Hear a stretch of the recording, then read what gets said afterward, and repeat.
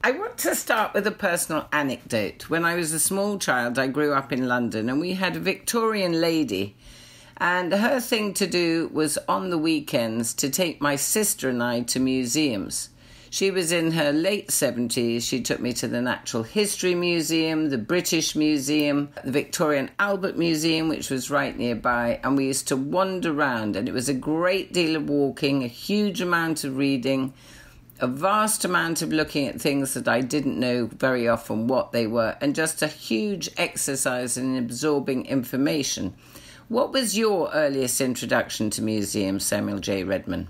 Oh wow! Well, first of all, thank you for for having me, and thank you for sharing that great story. I I relate to that uh, in that my uh, parents were uh, into history and, and science and and travel, so museums were were part uh, of that growing up. But they also, uh, my mom would uh, just pull me out of school occasionally to take me to the Science Museum of Minnesota or the Minneapolis Institute of Arts. I grew up in Minnesota and uh, that was a really formative experience for me, of course. But uh, from there, I decided to start working in museums and eventually transitioned to become a historian who studies the history of museums. It combines history, it combines anthropology, of course, art, very often, many disciplines. It is a truly multidisciplinary subject. But of course, Samuel J. Redman, it has also become very contentious. I'm thinking, for example, of the Elgin marbles. I'm thinking of the misappropriation, as many would see it, of artifacts that do not necessarily belong to the museum owners. This has become a hot topic, hasn't it? Where do you sit with all this discussion? Absolutely. It has been a really incredible time for those of us who have been following and, and tracking these conversations for, for some time. Uh, I, you know, have written about in the past. I, I, come from, as I mentioned, a museum background, and then became a historian. Uh, but I, my first book was on the history and legacy of collecting the history of human remains, uh, which you know could not be more contentious and, and sensitive, right? The the way in which one's uh, ancestors are, are treated in, in terms of their death and burial, and, and how those remains were scientized in, in museums. So it's absolutely the case that there's there's still a lot of work to be done. But I think in recent years, uh, one of the themes of this new book is that born out of these crisis moments are opportunities in many cases to rethink museums, to uh, reshape uh, what they are, and, and think about different trajectories moving forward. So, out of this recent controversy around the ownership of materials it is possible, looking at this sort of historical trajectory of crisis moments for museums, that something more resilient will, will come out of this. And that is relationships built with people from around the world and, and possible repatriation and restitution of these objects. Uh, your book, as you say, The Museum, your latest book, A Short History of Crisis and Resilience, it was born out of the pandemic, and I'll get to that in depth in a minute. The thing is that museums, the same time that we were trudging around museums, I was also learning about Darwin, who, mm. of course, is a significant anthropologist and scientist, but his main work, his contribution, a negative contribution in many ways, was to other humankind. He collected species, he divided everyone up into genus, in America you say genus, and to stratify everybody. So there was necessarily a hierarchy, a classification by people who saw themselves as superior. But there's a crisis of thinking, isn't there, Sam, where people believe that some museums prove some sort of white supremacy or some sort of superiority. So, what about that whole question of Darwin, classification of the other, and what part it plays in contemporary dialogue? Sure. So museums, uh, uh, in in part because of their emergence historically and and what they what purpose they served in the 19th and 20th century, they're linked up as you might imagine, as your question sort of indicated, to the professionalization of sciences like biology and, and the emergence of fields like paleontology um, not only were scientists working in museums, but of course, then they were creating these public displays, which in an era before magazines or uh, you know, documentary films, really, or, or even the emergence of the radio, people learned first about uh, many of these things, either, you know, public debates and, and fora and, and things of that nature. And, and certainly newspapers would have existed. But if you wanted to actually see a fossil, or if you wanted to actually see material from around the world that you might have been reading about in a book or in the newspaper, you would go to a museum. So uh, these became really important sites for American culture and for European culture as, as well, and certainly not without problems. But they were deemed by many people uh, to be uh, uh accurate and uh, pretty consistent purveyors of scientific information or information about art and art history or, or history. So uh, they, they sort of became these trusted places or trusted institutions. Now, in the last few years, arguably dating back to at least right the 1980s and the culture wars uh, related to public art and, and culture wars that related to museums as well, museum controversies in the 80s and 90s.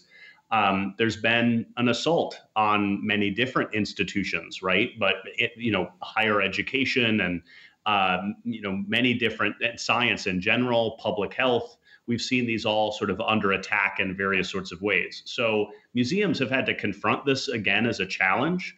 Uh, and I argue that they could look at the, their their own history, the last century or more, and learn from how they've responded to crisis moments in the past. In a way, this is nothing new. Uh, but what's unique about it are, are the different players and sort of the stakes and, and how it all plays out in, in each different context as we move along in history. It's the Horniman Museum in Dulwich in London that's returning the looted Benin bronzes to Nigeria finally. I think there was also an aspect, if in Victorian literature you often read some of the writers talking about the first sight of something like a tiger or a mm-hmm. lion. Uh, for example, Blake, William Blake, much earlier on, had no idea what a tiger or a lion looked like when he wrote Tiger, Tiger, Burning Bright.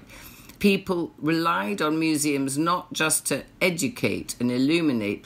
People don't often view museums as a place of spectacle or entertainment, but they've got better at presenting that. Do you think that's right? Well, certainly they've uh, evolved a, a an extraordinary amount over time. I think that uh, people would be really interested to go back and look at photographs of uh, how museums were laid out uh, a hundred years ago and sort of compare and contrast uh, their their approach. You know, as these collections grew and grew, there was sort of a a there's a temptation to take all this amazing stuff that you have accumulated and put it onto exhibition. Um, and anyone who's gone to a major museum uh, can can tell you, but we're all sort of familiar with this idea that it can be overwhelming. It can be, you know, sensory overload. So over time, during the 20th century, museums would put on fewer select pieces and try to tell a story, try to engage in some sort of narrative. Some museums are more successful at that than than others. And you know, another aspect of this is um, just the idea of these controversies themselves. Should museums you know try to shy away from these moments of controversy or do they lean in and try to transparently have a conversation with different communities that are affected by these uh, controversies and, and see what what different people want their museum to be in the future.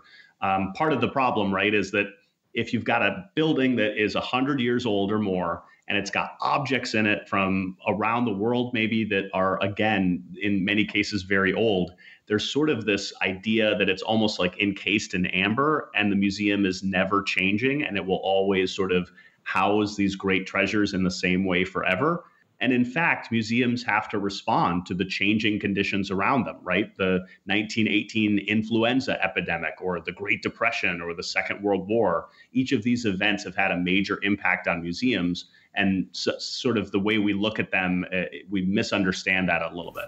And your book shows how the pandemic in 1918 was dealt with, and it shows the Smithsonian fire and the Spanish flu.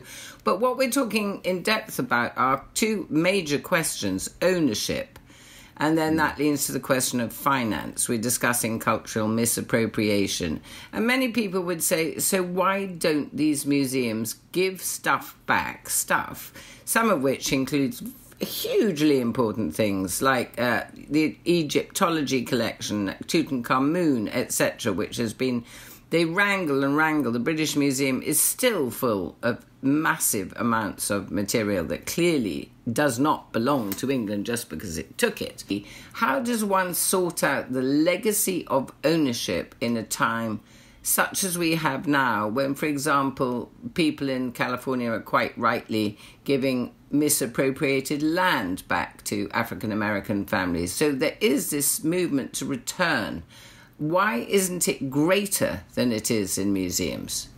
Mm, that last part of the question is especially especially important. Um, going back to 1990, uh, there was a major new law passed in the United States uh, called the Native American Graves Protection and Repatriation Act, or NAGPRA for short.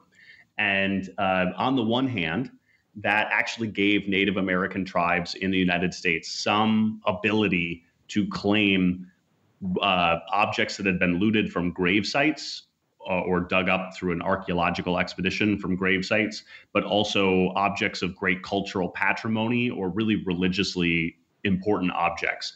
But it's remarkable to me that here we are now, many years past 1990, and only about 30% of the eligible ancestral remains of Native American individuals have been repatriated. So, on the one hand, the door has been opened for that. And as I demonstrate in this book, The Museum, it's not just because the museum, right out of their goodwill, opened the doors to these very sacred and sensitive objects. It's because a whole bunch of activists were pushing for that outcome.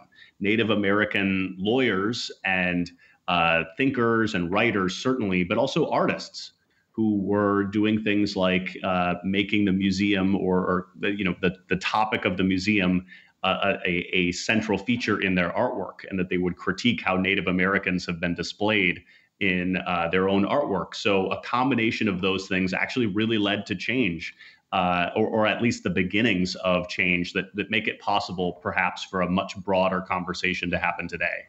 There's also an ugly piece no one ever really wants to discuss, which any curator is very aware of and treads around very carefully.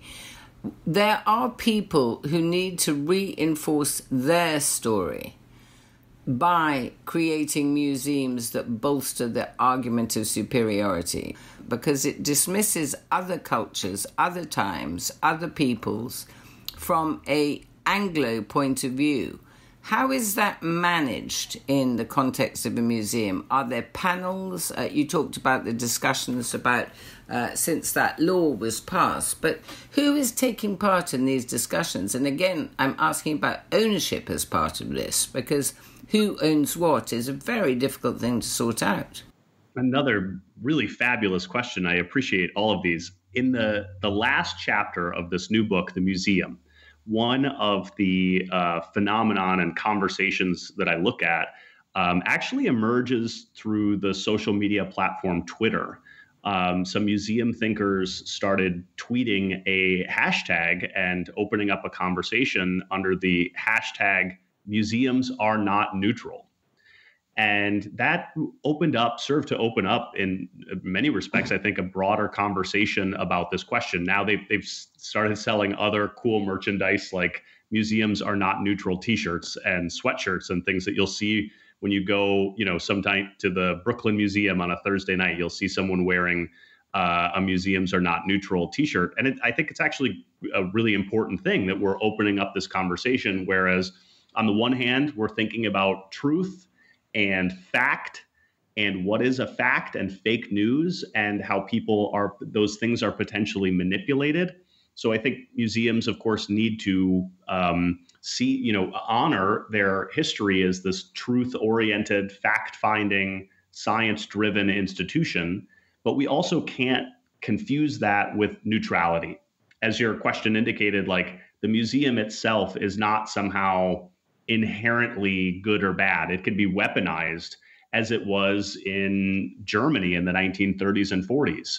Um, that there are there are places around the world that present a slanted or ideological view of history or politics uh, or science that are it suggests again that the museum is is not neutral. So I think a lot of those conversations are are happening sometimes in digital spaces, uh, sometimes in other forms of resistance, uh, protest. One of the chapters in the book looks at the 1970 art strike, where artists in New York City just straight up refused to work with art museums for a time.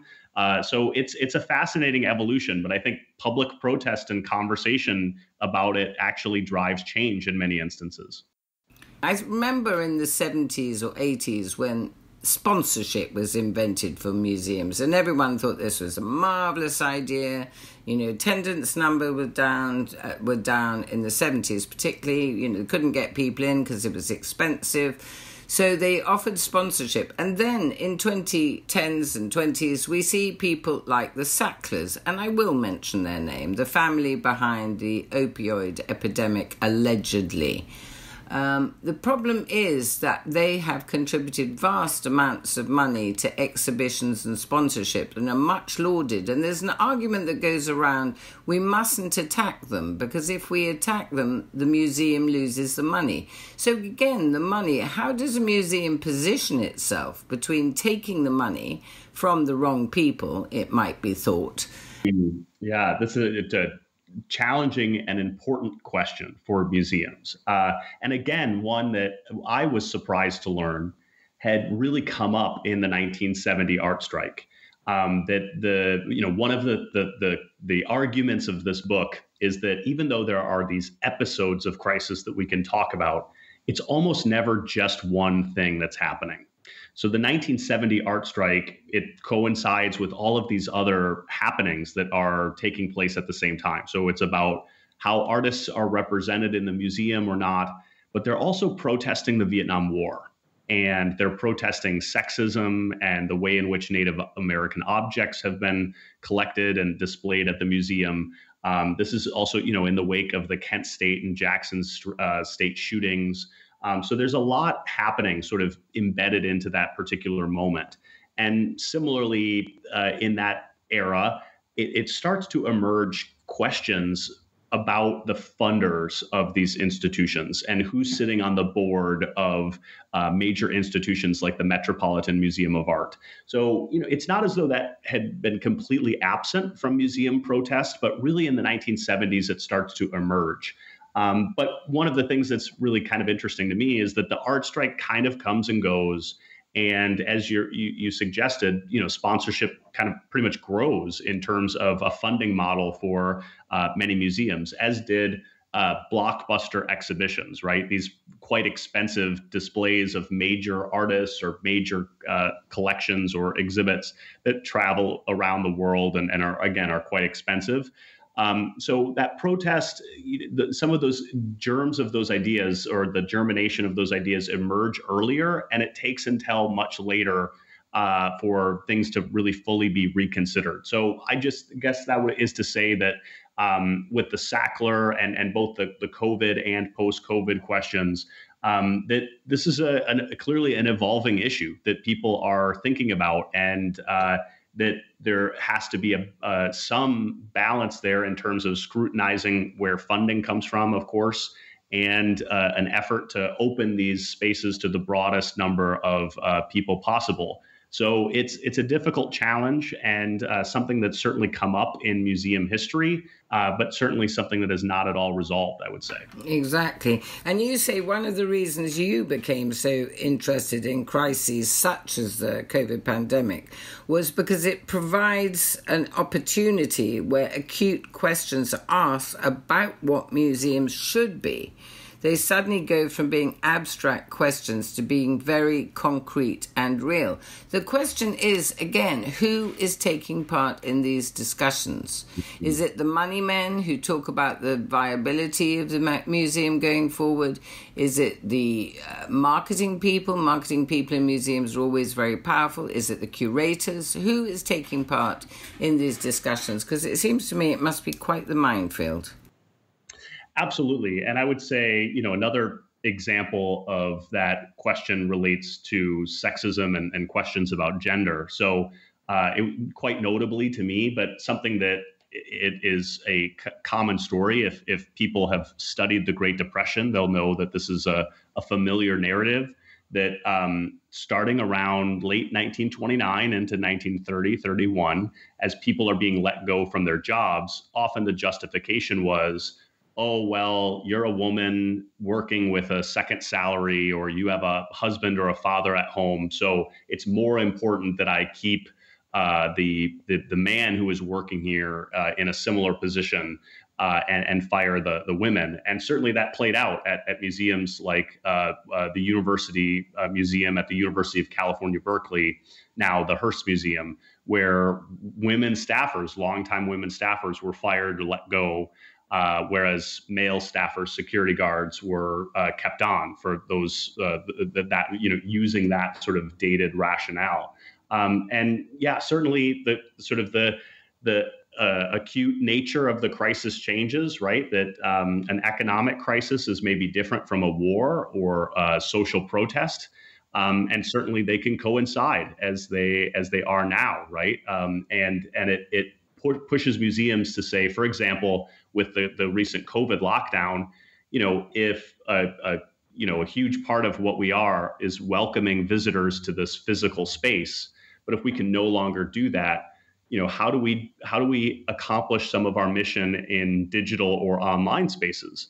And arguably some museums are quite successful with that. They have a lot of their collection freely available online uh, amazing resources for teachers uh, and, and, us uh, at home uh, but other museums have struggled to sort of keep up with those many changes taking place in digital spaces I'm wondering what the COVID conversations were amongst museum professionals in the early days and how they evolved during the pandemic. There must have been something close to panic right at the beginning when they realized they were not going to have any visitors at all, and then they must have worked very hard to evolve new patterns of admission, etc.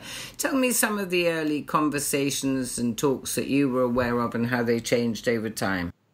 Yeah, absolutely. So I think, uh, you know, in the United States, something like 95 to 98% of museums shut down, at least for a time, for uh, uh, public health reasons.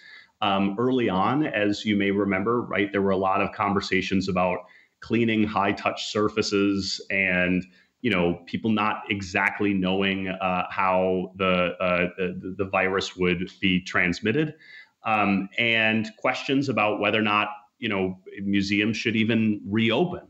Um, and sort of during that phase, and, and, I guess maybe the early second wave, uh, a number of museums, uh, major museums in both the United States and, and Europe, notably the Louvre, for example, uh, were pretty assertive in doing things in terms of maintenance that uh, part of the the issue with a museum, right, is that so many visitors are coming at any given time potentially that it's hard to do new construction. That you know, if you have shut down a wing, you know that's going to disappoint some visitors, or if you're uh, working on a thoroughfare or you know sort of a, a hallway or something, it, it could sort of upset the flow of the museum. So some museums were doing months or years worth of maintenance work in the span of just a couple of weeks because they didn't have visitors sort of consistently coming to the museum. So they were able to accomplish certain things that they may not have otherwise. And then I would say a, a, an effort was really swung around to digital efforts, right? That as uh, kids went back to school or were in school and teachers needed access to resources that could potentially engage uh, fidgety kids, uh, and, and online and distance learning. That was a, another sort of wave of, of development. And then thinking about how to reopen. And the surveys have suggested that, um, at least in the early going of reopening, that uh, museum audiences are trending younger and they're trending uh, visitors from closer by, from more local visitors. So it's still, I haven't seen data from after the summer, um, but uh, gosh, with airline travel and with other sort of challenges, um, I think one of the opportunities that may come out of this is an opportunity to, as museums reopen, to encourage uh, uh, people from nearby communities who maybe haven't had a chance to visit the museum in a couple of years uh, to come connect with them as an institution.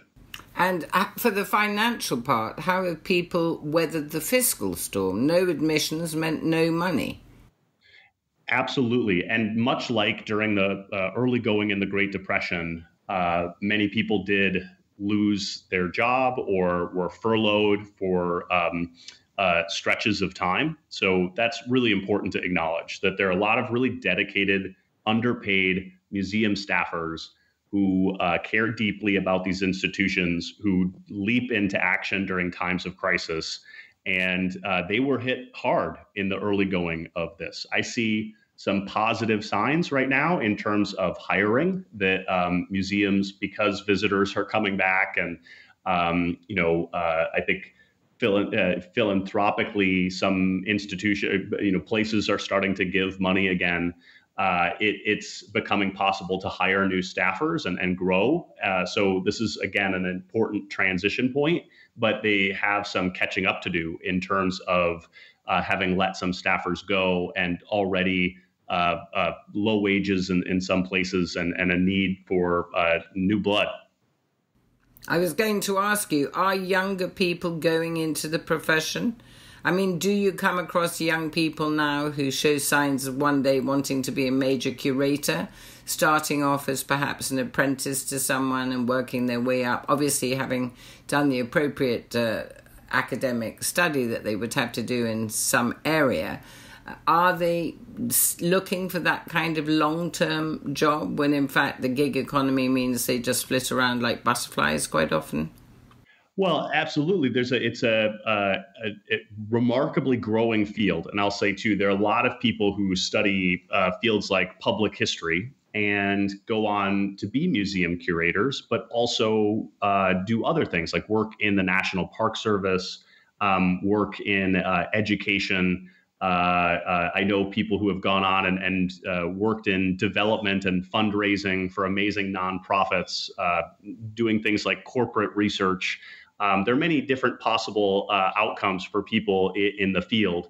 Uh, but certainly a lot of people do desire to work at these amazing institutions, right? Where someone can spend a, a life and career working with, uh, uh, you know, touching in many cases and, and helping people uh, make the past come alive. You can work with it on a day-to-day basis, and and that's very exciting for a lot of us who care uh, care deeply about uh, these objects and these places. And we like to feel, don't we, that there's a linear progress, and as we live in 2022, uh, the world has come along from say 1922. But unfortunately, uh, we can see that in the past, some instances of culture wars, I'm thinking particularly of what you referred to with the Smithsonian exhibition of the Enola Gay, the plane that dropped the atomic weapon on Hiroshima. That was as recent as 1995. So we could now say oh, yes, well, we handle these things much better, we tackle them face on. But it was so acrimonious that it was completely cut into bits and shredded so that very little of the true horror was shown. So, are we making the progress we so often pat ourselves on the back for?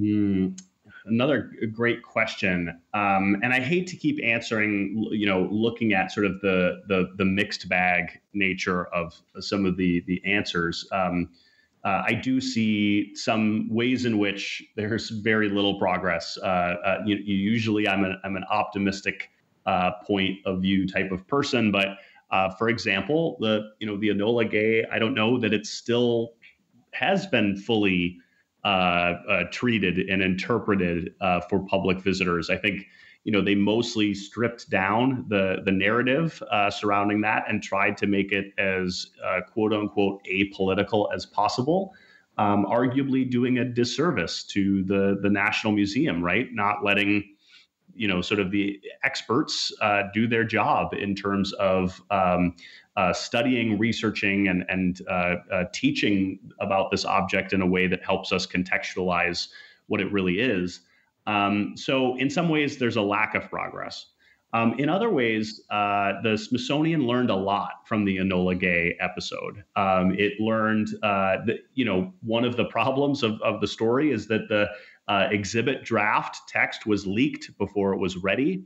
Um, that arguably there wasn't enough uh, consultation in advance with all of the different constituencies to understand what the sensitivities might be of this uh, this story that still involved people with who were alive when uh, when it happened.